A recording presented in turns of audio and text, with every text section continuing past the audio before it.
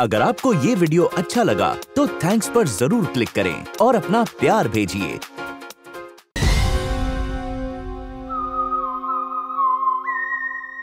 कितनी दूरी पे है?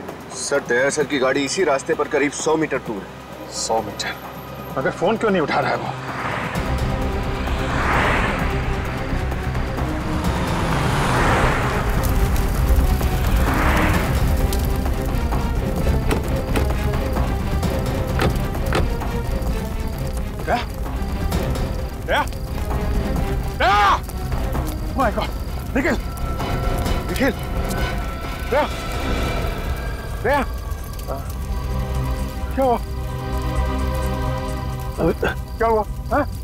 जी। हाँ, देखो वो वो वायरस आई है ना? वायरस? हाँ।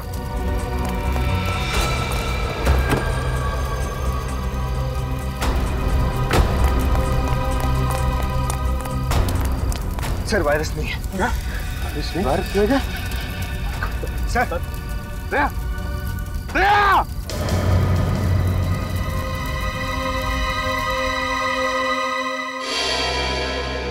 मुझे पूरी उम्मीद थी आप और आपकी सीआईडी टीम उस वायरस को सही सलामत अपनी मंजिल तक पहुंचाएगी। मगर मगर क्या? रामंजन जी उस वायरस के बारे में हमारी टीम के अलावा आपको और आपकी टीम को भी मालूम था। क्या मतलब? मतलब ये कि आपकी टीम में से कोई गद्दार है जिसने उन लोगों को खबर कर दी हमारे खुफिया प्लान के बारे में। आप लोगों ने लास्ट मिनट में अपना प्लान बदल लिया था। आप लोग किस रास्ते से जाने वाले हो? किस होटल में रुकने वाले हो? इसकी खबर नहीं थी मुझे। लेकिन आपको ये तो पता था कि वो वायरस लेके हम लोग अशोकनगर की लैब में जा रहे हैं। सर इस रघु से बहुत पूछा लेकिन इसकी सुई एक ही जगह पर आकर अटक गई। इसने ये सारा काम सिर्फ़ पैसों के लिए किया लेकिन वो पैसे दिए किसने ये इसे नहीं पता। देख रखो अभी तो तू चल के आया अगर सच सच नहीं बताया ना तो पैरों पे खड़ा भी नहीं हो पाएगा समझा? साहब मैं सच बोल रहा हूँ साहब मुझे इस काम के लिए एक करोड़ रुपए मिलने वाले थे साहब बस। और कुछ नहीं मालूम साहब सच्ची में एक करोड़? कौन है ये जो तुम्हें एक करोड़ देने वाला था? साहब मैंने बस आवाज़ सुनी थी साहब मुझे कॉल आया था साहब प्राइवेट नंबर से। उन्होंने मेरे घर के पीछे गोदाउन पे पाँच लाख रुपए एडवांस भी डाले थे साहब। अब और कुछ नहीं मालूम साहब सच बोल रहा हूँ साहब। ये जो भी कोई है ना जो तुम्हें एक करोड़ रुपए देने वाला है वो हमारे हाथों नहीं बचेगा। नहीं बचेगा वो हमारे हाथों।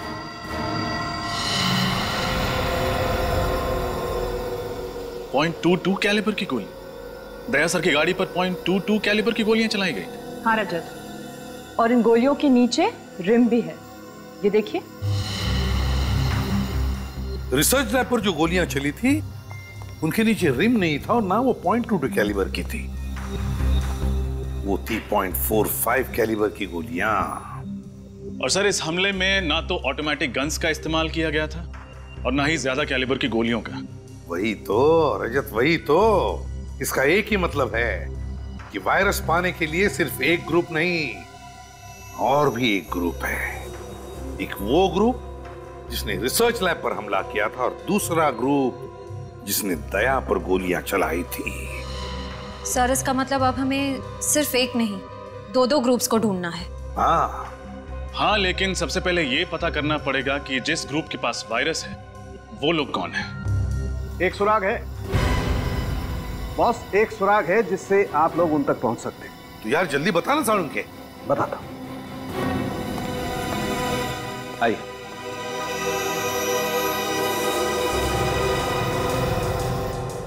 बॉस ये उस बॉम्ब के टुकड़े हैं जिसका इस्तेमाल करके मुजरिमों ने उस वैन की धज्जियाँ उड़ाई। थी इस बॉम्ब में टाइमर के साथ साथ फर्टिलाइज़र भी मिला है।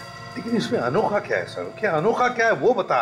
अनोखा ये है बॉस कि ये बॉम्ब दिखने में तो बहुत छोटा सा टिफ़िन बॉक्स जैसा है लेकिन है बहुत खतरनाक। इस बॉम्ब का इस्तेमाल बड़ी बड़ी फैक्ट्रीज में एक्सप्लोजर के लिए किया जाता है। और एक बात इस बॉम्ब के कंपोनेंट बाज़ार में आसानी से नहीं मिलते हैं। बड़ी बड़ी फैक्ट्रीज को भी खास परमिशन लेकर के स्पेशल ऑर्डर देकर के मंगवाना पड़ता है। तो फिर ज़रूर ये सारा सामान किसी फैक्ट्री से चुराया गया है। पता लगाना पड़ेगा ऐसी कितनी फैक्ट्रीज और इंडस्ट्रीज़ हैं जहाँ पर ऐसा सामान इस्तेमाल होता है। सर। हाँ। क्या पता चला बॉम्ब के बारे में रजत सर ये बॉम्ब पाइपलाइन कंपनीज़ में इस्तेमाल किया जाता है। मैंने शहर की हर ऐसी कंपनी को इन्फॉर्म कर दिया है। जैसे ही पता चलेगा कि ये बॉम्ब कहाँ से गायब हुआ था हमें खबर मिल जाएगी। सर उस नकली नंबर प्लेट वाली गाड़ी का पता चल गया। चेसी नंबर से ढूंढ लिया कि वो गाड़ी किसकी है। किसकी है गाड़ी? सर यूनिक टैक्सी कंपनी की है। अच्छा यूनिक टैक्सी कंपनी। सर वो वैन किसी ने बुक नहीं की वो तो चोरी हो गई थी। क्या? वैन चोरी हुई थी? हाँ सर कल ही वैन चोरी हुई और कल ही मैंने पुलिस में रिपोर्ट भी लिखवा दी थी। झूठ तो नहीं बोल रहे हो? क्या सर? मैं झूठ क्यों बोलूँगा?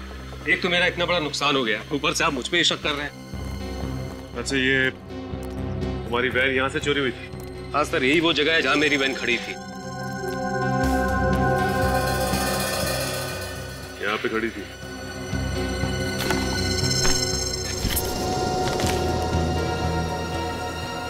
सूरज कर क्या रहा तुम? वो कुछ नहीं वो कचरा गिरा पड़ा था। मैंने सोचा उठा के बाहर फेंक दूँगा। इधर देखो।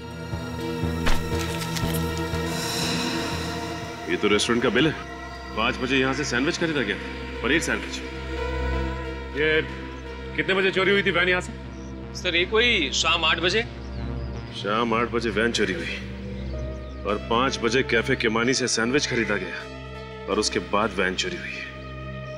कैफ़े किमानी तो आपके वेयर हाउस से सिल्वर बॉक्स गायब हाँ। सर।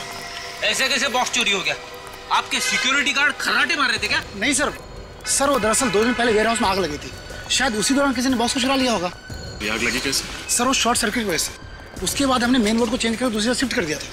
तो जहाँ ये मेन बोर्ड पहले था वो जगह दिखाइए। आइए सर। सर ये रहा board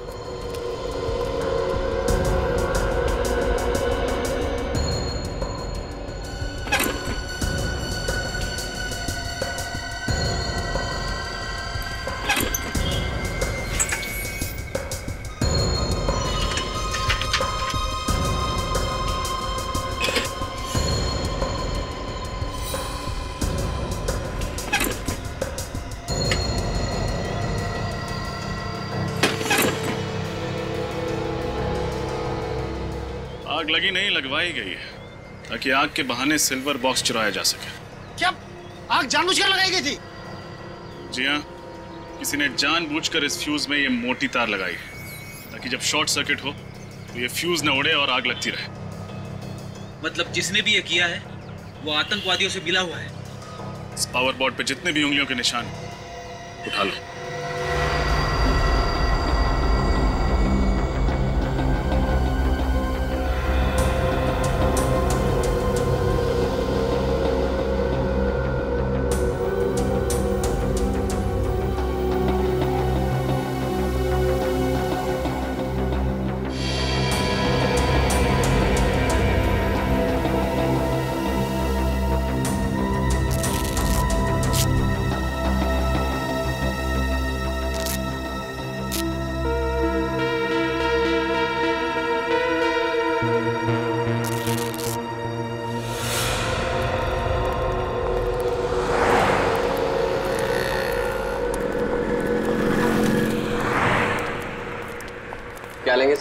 Ice cream french fries burger sandwich हम सीआईडी से। सीआईडी क्या बात है सर कल शाम को पाँच बजे आपके यहाँ से किसी ने पनीर सैंडविच खरीदा था। ये रहा उसका बिल। ध्यान से देखिए इस बिल को। और अपने दिमाग पे ज़ोर डालिए और बताइए कि किसने खरीदा था ये। सर ऐसे तो रोज पचास लोग पनीर सैंडविच के लिए आते हैं। ऐसे कैसे याद रख सकता हूँ? तुम नहीं बता सकते लेकिन ये सीसीटीवी फुटेज। ये तो बता सकती है ना कि कौन और कब आया था। फुटेज दिखाओ जरा। जी सर।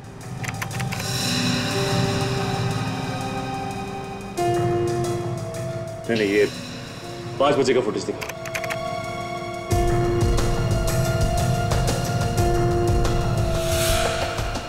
सर यही दोनों बंदे आए थे पाँच बजे पनीर सैंडविच लेने।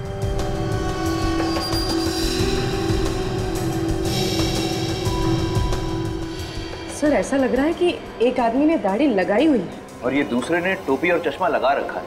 ओ, तो ये दोनों के दोनों भेस बदल कर यहाँ पे आए थे। ये फुटेज चाहिए हमें।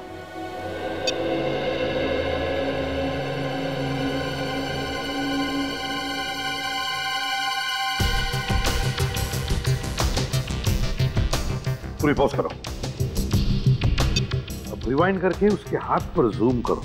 देखना जरा दया। उसके हाथ पे कुछ है।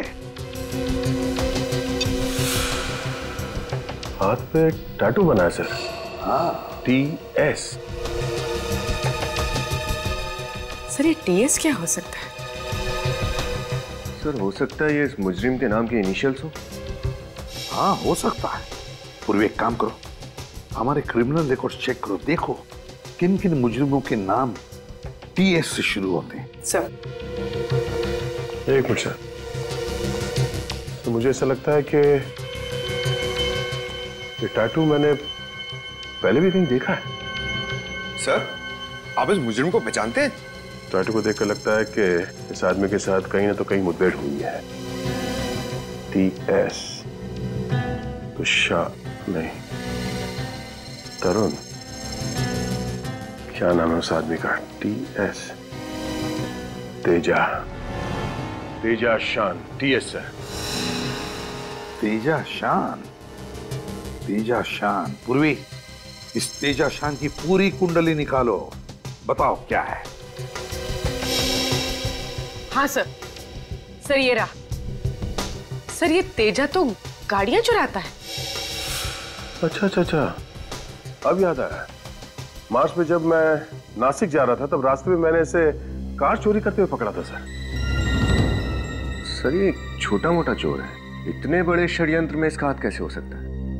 है विनीत है। जिस तरह से इस खेल में रघु का इस्तेमाल किया गया उसी तरह तीजा का भी इस्तेमाल हो रहा है।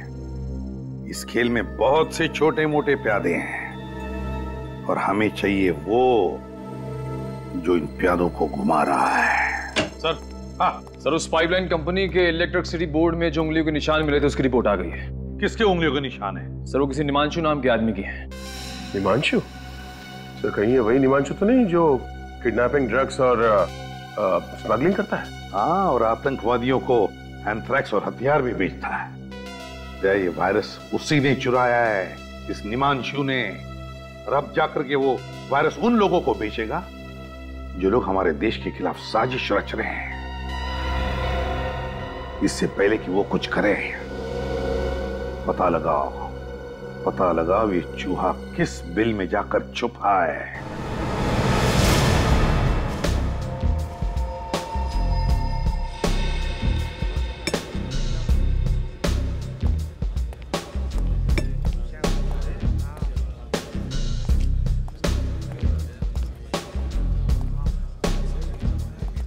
सलाम सर।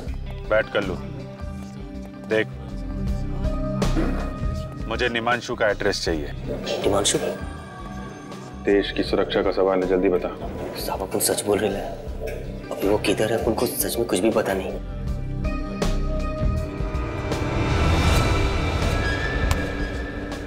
देख हमें अच्छी तरह से मालूम है। तू निमांशु के लिए काम करता था। इसलिए सब कुछ सच सच बता दे। वरना सीआईडी के हाथों एक खून हो जाएगा। अंकल लो साहब। घोड़ा तो साइड रखो साहब। चल बता। निमांशु का फ़ोन नंबर एड्रेस जो कुछ मालूम है बता। सच्ची बोल रहे हो साहब आप उनको कुछ नहीं पता। और साहब उनके पास एक फ़ोटो है साहब। शायद वो आपके काम आ जाए। ऐसी फ़ोटो। दिखाता हूँ साहब। ये देखो ना साहब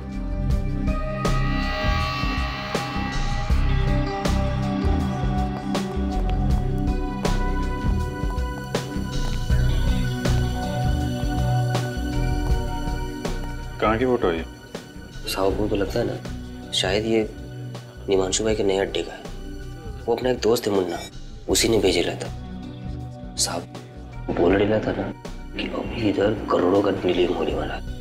अभी निमांशु भाई बहुत बड़ा हाथ मारने वाला है। सर इसका मतलब उस वायरस की बिक्री इसी जगह पे होने वाली है। अरे तो अपने उस मन्ना से पूछना कहाँ का एड्रेस है साहब वो तो बाहर गाँव गया है। ना तो उसका कोई फ़ोन नंबर है ना कोई एड्रेस सच ही बोल रहे हो साहब।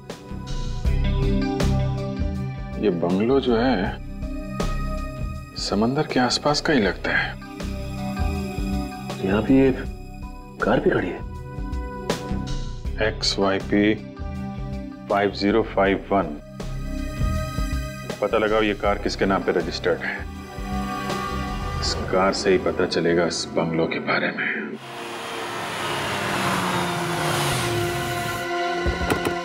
संभल के निमांशु अटैक कर सकता है।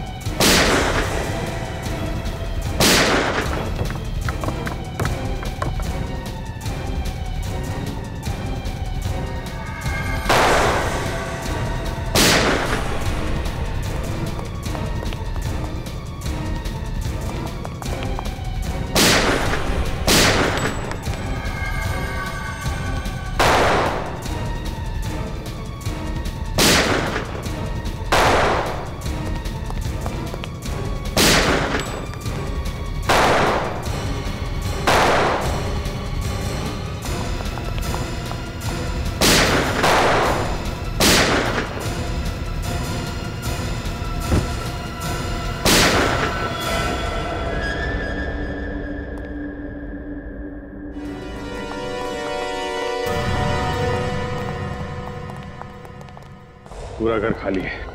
लगता है बाकी लोग भाग गए। हाँ अभिजीत ज़रूर है निमांशु वायरस लेकर भागा है। काम करो तुम दोनों। चेक करो इनकी जेबें। देखो कोई फ़ोन नंबर या एड्रेस वगैरह मिलता है क्या? सर ये कल्लू कह रहा था।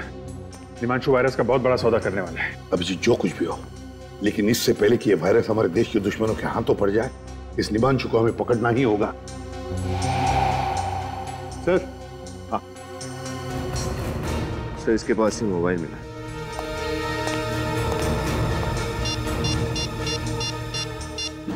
गॉड अभिजीत ये देखो।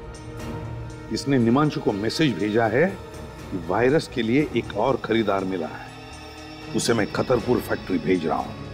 एक और खरीदार? इसका मतलब ये निमांशु किसी एक गैंग को वायरस नहीं भेज रहा है सर? और भी लोग पड़े हैं इस वायरस के पीछे।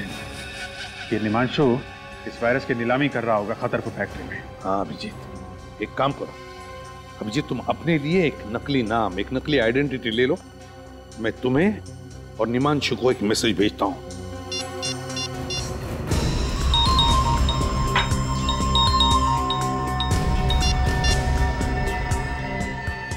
तो और बंदों को खाटरपुर फैक्ट्री भेज रहा हूँ।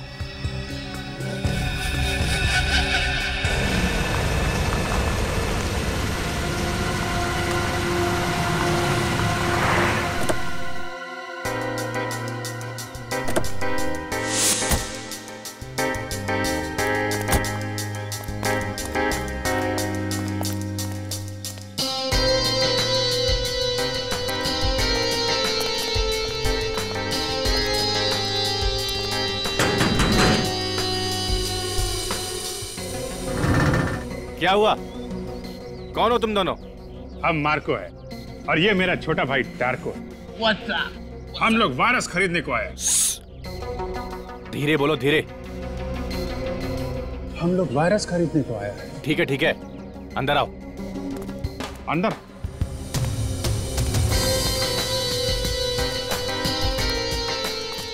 रुको। अपुन के आदमी का मैसेज दिखाओ। ए, तुम हम पर शक करता है। जाने दो छोटे जाने दो जाने दो जाने दो। मैसेज देखना है? हाँ। ये वायरस चाहिए तो खतरपुर फैक्ट्री पहुँच जाओ।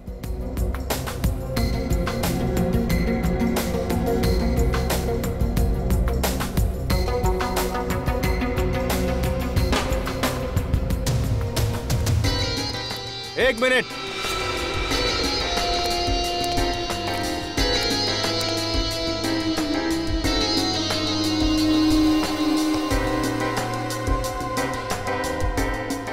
ये गन? गन? हम लोगों के पास गन नहीं होगा तो क्या लॉलीपॉप होगा? लेकिन यहाँ पर ये गन अलाउड नहीं है। अलाउ नहीं है? ठीक है। हम लोग यहाँ वायरस खरीदने आया है। गोली चलाने थोड़ी ना आया है। आ जाओ छोटे।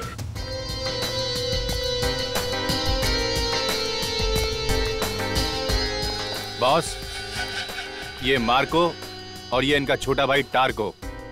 Hello Nimanshu hello Marco Tarko. पहले कभी सुना नहीं इन दोनों के बारे में? इसीलिए तो हम वो वायरस खरीदने को आए। उस वायरस से हम वो धूम मचाएगा वो धूम मचाएगा। कि इंटरपोल का पुलिस भी हमारे नाम से थर थर कांपेगा कहाँ से पकड़ के लेके आए इन दो नमूनों को? ए, कितना कीमत है तुम्हारा वायरस का? सबसे ज़्यादा कीमत हम देगा। बिठाओ इन दोनों को। चलो अंदर। आ जाओ। नमूना बोला तुमको।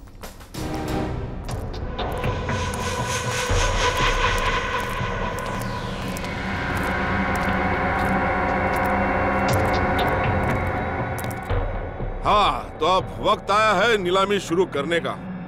हमारे पास यहाँ तीन खरीदार मौजूद है इस वायरस के लिए।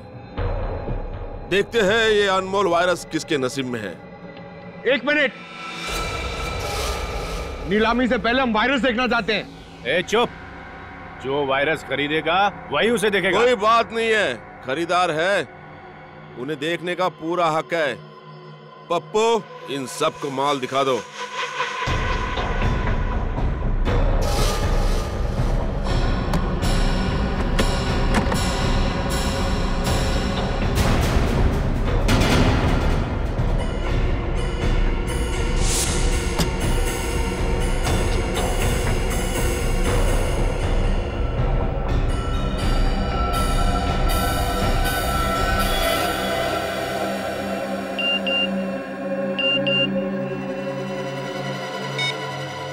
वायरस यहीं पर है।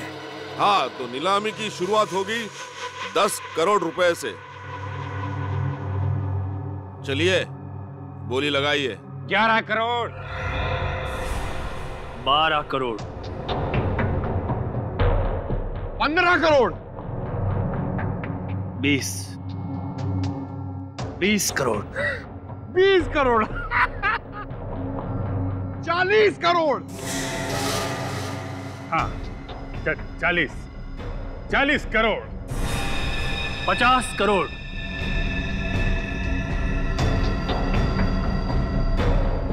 साठ करोड़।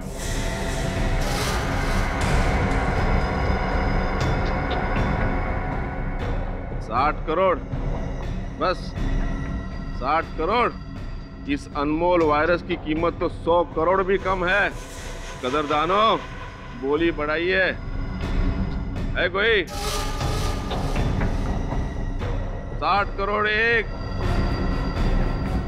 साठ करोड़ दो। साठ करोड़ तीन। मुबारक हो मार्को और टार्को। वायरस आपका हो गया। पैसे लायो। कैसी बच्चों वाली बातें करते हो निमांशु? साठ करोड़ रुपए कोई पॉकेट में लेके घूमेगा? ये लो। मेरे इस मोबाइल फ़ोन में अपना अकाउंट नंबर टाइप कर दो। दो मिनट में तुम्हारे अकाउंट में पैसे ट्रांसफ़र हो जाएँगे। लाइए।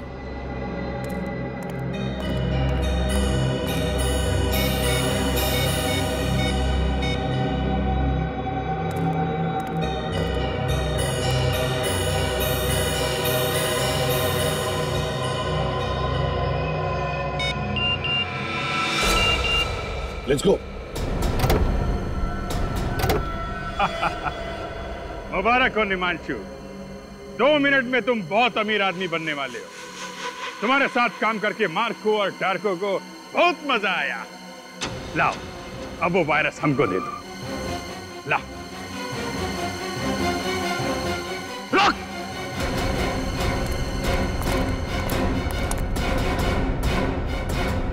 वायरस ये लोग नहीं। हम लेकर जाएँगे। ए, गन नीचे कर।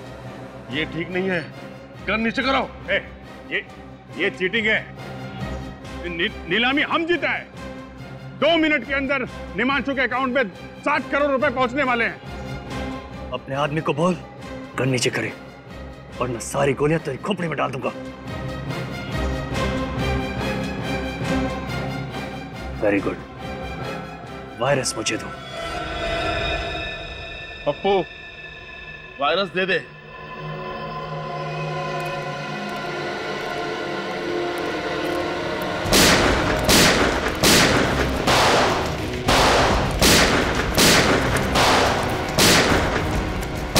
हाँ वायरस लेके अभी निकल गया वो। माय गॉड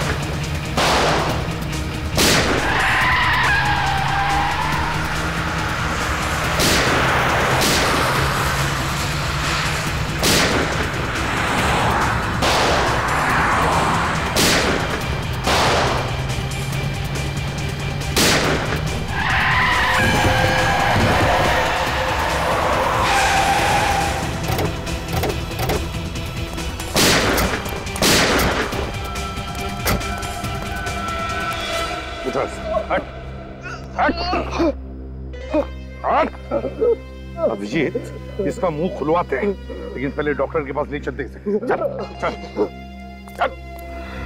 मुझे में नहीं पता था वो लोग चुरा के खा लेके गए ऐसे नहीं मानेगा, सर। लातों के बूथ बातों से नहीं मानते अब आप लोग मेरा यकीन क्यों नहीं करते साहब झूठ बोल के क्या मिलेगा साहब एक आतंकवादी पर यकीन करें, एक देशद्रोही पर यकीन करें। साहब मैं देशद्रोही नहीं हूँ साहब मैं तो मैं तो पिछले ही हफ़्ते इस गिरोह से जुड़ा हूँ साहब। अगर मुझे पहले पता होता साहब ये लोग देश को इतना बड़ा नुकसान पहुँचाने वाले हैं। तो मैं कभी इन लोगों का साथ नहीं देता साहब कभी नहीं।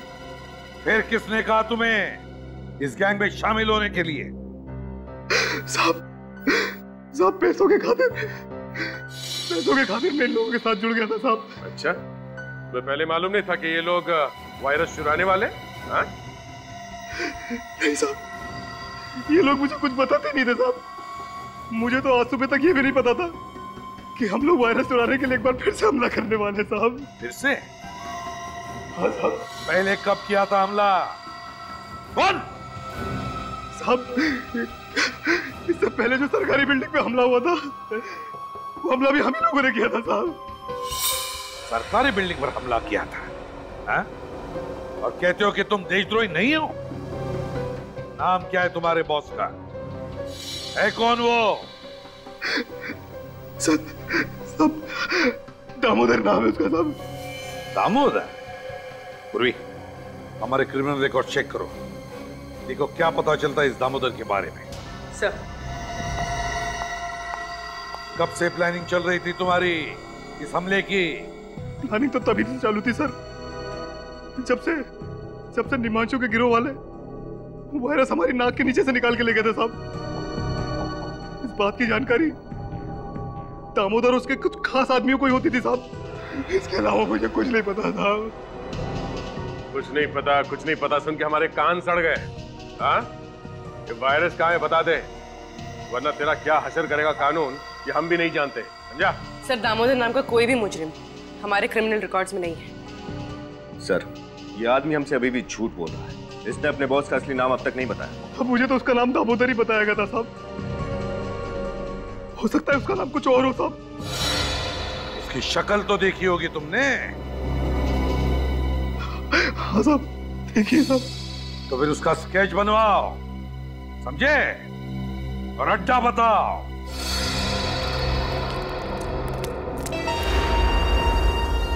अभिजीत पूर्वी के साथ उस तरफ़ हम लोग इस तरफ़ जाते हैं।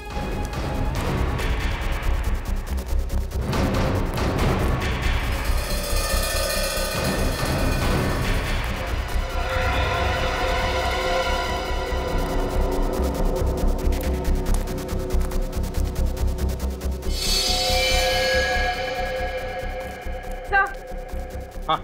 सर कुछ भी नहीं मिला। खाली पड़ा हूँ।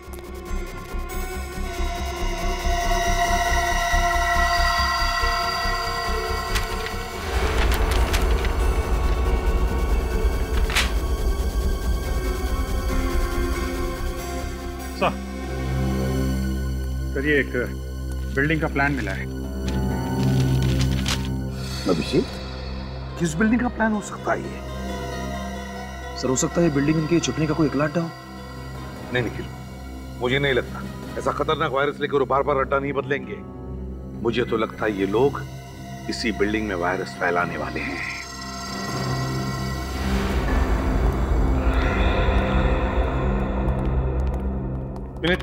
पता चला किस बिल्डिंग का नक्शा है? नहीं सर अभी तक नहीं। शहर की सारी कमर्शियल बिल्डिंग्स के नक्शे में चेक कर रहा हूँ सर और हमारे पास वक्त बहुत कम है।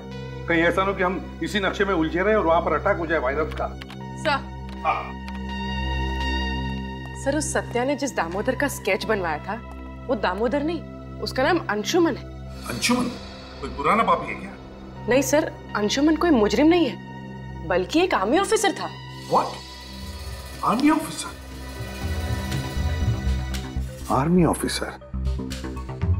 तेरा याद आया? 2008 में अंशुमन नाम के एक ऑफिसर को दुश्मन देश ने पकड़ा था और उसे मार भी डाला था। तो ज़रूर ये वही अंशुमन है वही अंशुमन है ये। सर मगर ये कैसे हो सकता है? एक मरा हुआ आर्मी ऑफिसर ये काम कैसे कर सकता है सर? सर शायद ये दामोदर अंशुमन के भेस में ये सब कर रहा है। अंशुमन का चेहरा लगाकर। नहीं निखिल। ये दामोदर तो लोगों के सामने आने के लिए तैयार ही नहीं। किसी ने भी उसे देखा नहीं। तो फिर वो अंशुमन के भेस में क्यों आएगा? नहीं ये अंशुमन मरा नहीं। अंशुमन ज़िंदा है। अभी भी अंशुमन ज़िंदा है। सर अगर ये अंशुमन ज़िंदा है तो अपने परिवार वालों से ज़रूर मिलता होगा। पूर्वी इसकी फैमिली का रिकॉर्ड चेक करो। सर एक आर्मी ऑफिसर क्यों अपने देश के साथ गद्दारी करेगा क्योंकि शायद उसके दिल में आज भी इस बात का गुस्सा है कि जब जब दुश्मन देश ने उसे पकड़ा तो हमारा देश और देशवासियों ने उसे बचाने के लिए कुछ नहीं किया। पर सर ये बात तो सच नहीं है। सरकार तो पूरी कोशिश करती है उन्हें बचाने के लिए। हाँ पूर्वी ये बात तो हमें भी पता है। लेकिन शायद उसे लगा होगा कि हमारे देश ने उसे बचाने की पूरी कोशिश नहीं की। और इसलिए वो बागी बन गया। सर। सर ये नक्शा होटल फ्री एशिया के नक्शे से मैच हो गया सर।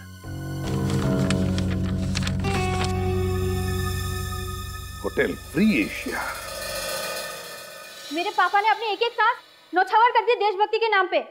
शहीद हो गए इस देश पे और अब सीआईडी वाले उन्हें देशद्रोही कह रहे हैं उन्हें मुजरिम कह रहे हैं। I am sorry miss Riya मगर सच्चाई तो यही है कि आपके पिताजी मिस्टर अंशुमान ने देश को धोखा दिया है और वो मरे नहीं अभी भी ज़िंदा हैं और अपने ही देश के खिलाफ एक ऐसा षड्यंत्र रच रहे हैं न जाने उसकी कीमत आने वाली कितनी पुश्तें चुकाएँगी। ये नहीं हो सकता।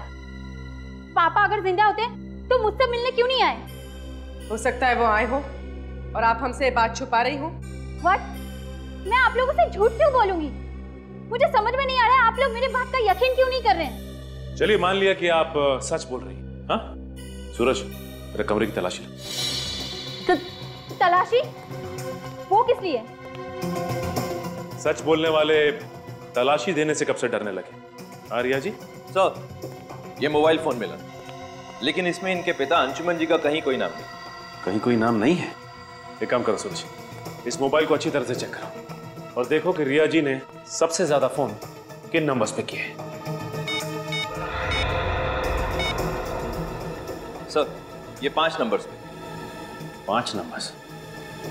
पता करते हैं कि इनमें से कौन सा नंबर वायरस की नीलामी वाली जगह पर था।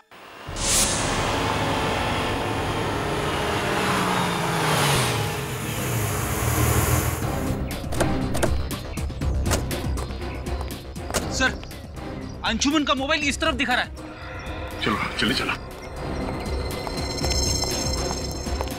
अरे सर आप लोग अंदर नहीं जा सकते। सर! हेलो सर कहिए मैं आपकी क्या सहायता कर सकता हूँ? यार सहायता तब करोगे जब फ़ोन उठाओगे।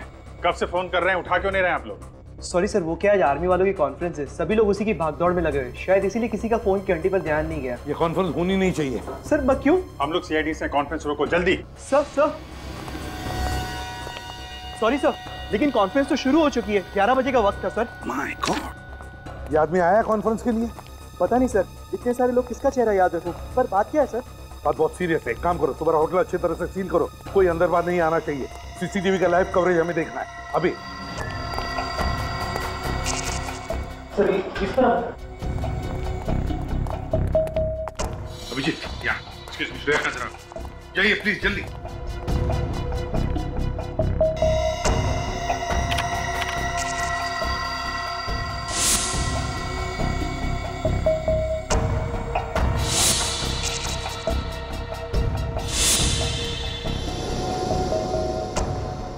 ध्यान से देखना अच्छी तरह से। श्रेया कोई देखा तुम्हें? नहीं सर। ना ही अंशुमन दिखा और ना ही उसके गैंग का कोई आदमी।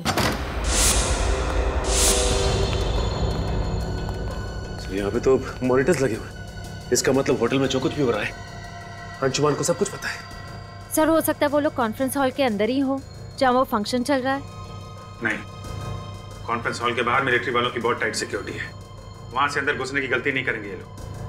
सर इसका मतलब वो लोग वायरस कहीं और से भी छोड़ सकते हैं। बिल्कुल श्रेया बिल्कुल। वायरस है वायरस कोई बॉम्ब या गोली नहीं। एक बार ये वायरस हवा में फैल जाए ना तो पता नहीं कितने लोगों की जानें चली जाएँगी। सर ये हवा में वायरस डालने का सबसे आसान तरीका ये एयर सर्कुलेशन के ज़रिए हाँ। Air circulation Shreya air circulation room का सीसीटीवी दिखाओ। ये दो लोग उसी एरिया की तरफ़ जा रहे हैं। स्टाफ वाले लगते हैं। नहीं नहीं। ये अंशुमान का आदमी है। सर वायरस की नीलामी के वक्त इसे मैंने वहाँ पे देखा था। इन्हें रोकना होगा।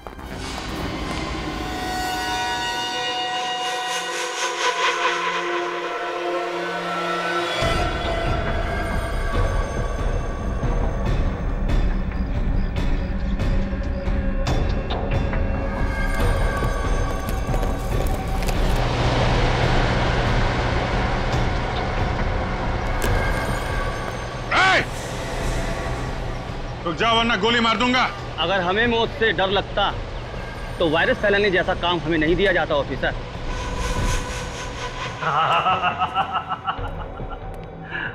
वाकई अंशुमन को सब खबर है। कहा क्या हो रहा है लल्लू राम बड़ी देर से समझ में आया। शायद तुम्हें इस बात की खबर नहीं है।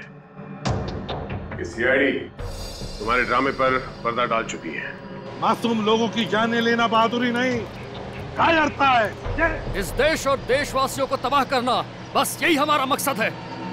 जब तक सीआईडी है तब तक तुम जैसे लोग हमारे देश और देशवासियों का कुछ नहीं कर सकते।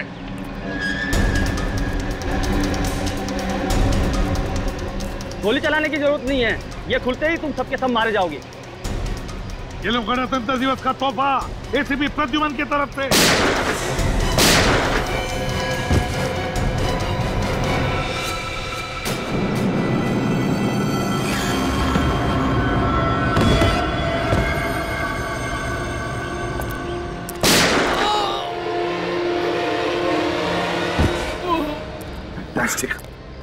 प्लेटून अभिजीत ये कैसे हो सकता है? तुम्हें क्या लगता है? ये अंशुमन इतना बेवकूफ़ है? मेरे पास दो और वायरस के कनिस्टर हैं। भारत की तबाही अब निश्चित है। निश्चित! शर्म आनी चाहिए तुम्हें। जिस देश की फौज का हिस्सा रहे हो तुम उसी देश को तबाह करने की बातें कर रहे हो। कुछ नहीं दिया। कुछ नहीं दिया मुझे इस देश ने। चढ़ रहा था मैं इतने सालों से दुश्मन की बदबूदार जेलों में। और यहाँ? यहाँ भारत के वासी आराम की नींद सो रहे थे त्योहार मना रहे थे डिस्को जा रहे थे इश्क ला रहे थे। देखो अंशुमन जो कुछ भी तुम्हारे साथ हुआ उस बात का हम सबको अफसोस है। और ऐसी बात नहीं है कि सरकार ने कोशिश नहीं की थी तुम्हें बचाने की। कोशिश की थी। बस! अब मेरी ज़िंदगी का एक ही मकसद है। भारत की तबाही बर्बादी। और ये रहा उसका पहला नमूना।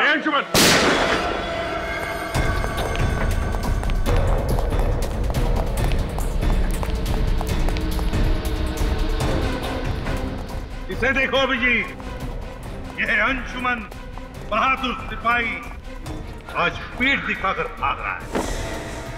आगे मत बढ़ना। मैं कहता हूँ आगे मत बढ़ना वरना वरना मैं खुद को गोली मारूँगा। आगे मत बढ़ना। इतनी आसान मौत नहीं मिलेगी तुझे अंशुमन तूने जो किया है उसका अंजाम तो झेलना ही पड़ेगा।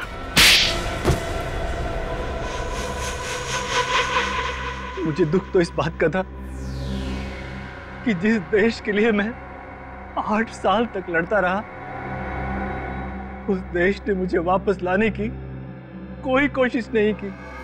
कोशिश की थी मगर दुश्मन देश के हिसाब से तुम मर चुके थे। और मिस्टर अंशुमान तुम्हारे साथ आठ सैनिक पकड़े गए थे। फिर ऐसा कैसे हुआ कि सिर्फ़ तुम ही ज़िंदा बचे? क्योंकि आतंकवादियों से मिल गया था ये आतंकवादियों से। देश को बेचने निकला था। अगर देश का रक्षक ही भक्षक बनेगा तो दुश्मनों की क्या ज़रूरत है? लेकिन जब तक हम हैं, जब तक ये सीआईडी है, ऐसा नहीं होगा, कभी नहीं होगा। जय हिंद। जय हिंद।